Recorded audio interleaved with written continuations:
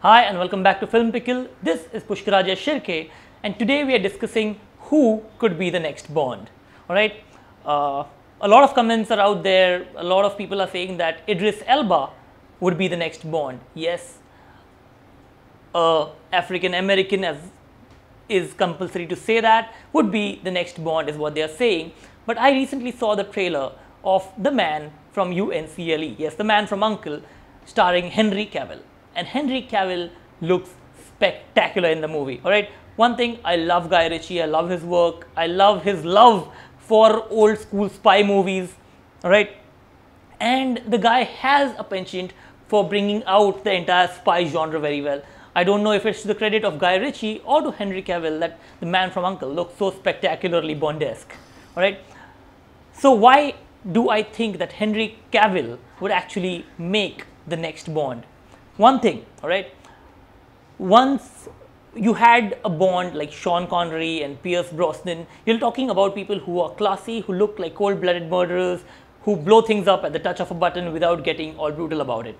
All right. Then you have Daniel Craig, who portrays the earlier years of Bond where he was not that well trained, he was still giving into his emotions, was a little more brutal, a little more loud, liked to get his hands dirty on stuff. So the next Bond we are looking at would be a progression from Craig and a step below Sean Connery. All right, you're looking at someone who is yet on an evolving stage, right? And for that zone, he has to be well built. He has to still carry the persona and elan that Sean Connery and Pierce Brosnan once carried, right? And yet be a little on the side of hardcore or a little on the side of being able to be physically violent like Craig is. So that is what puts Henry Cavill in my list of favorites for the next Bond.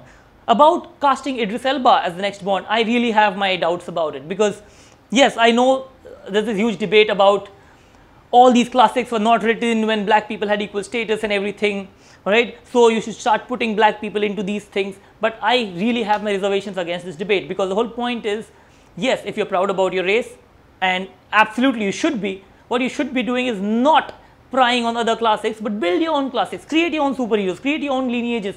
Create your own characters that people would want to follow. You have black panther. You have mr t. You have great characters to be made. Create them.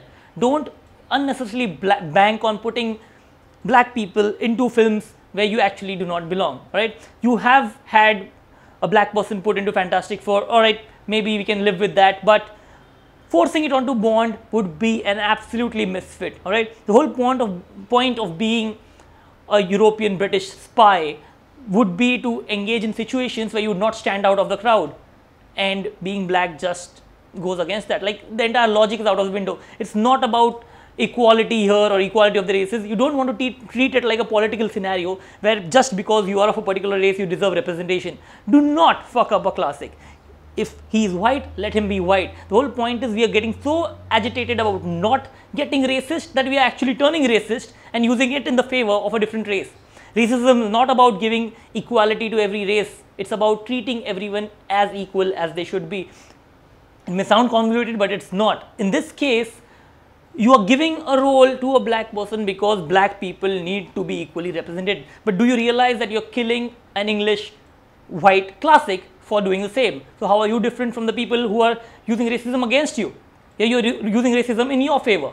I, I strictly don't think Idris Elba should be the next Bond. I really, really, really hope he's not. I've loved Bond movies all my life and I would love to love them even more in the coming years. And so I really, really hope that Henry Cavill who has the exact personality to play an amazing Bond in the coming years really gets to play the part.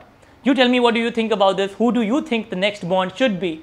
All right. And this is still keeping in perspective that Daniel Craig probably has two more Bond movies coming up. One is Spectre or Scepter, whose trailers or trailers or making of a little footage is still already out, and the other one which he has supposedly been signed on for. So post that, who do you think should be the next bond. Do let me know in your comments. Do like, share and subscribe our reviews and quotes so that we get to keep this channel running. This is Pushkaraja Shirke signing out for Film Pickle.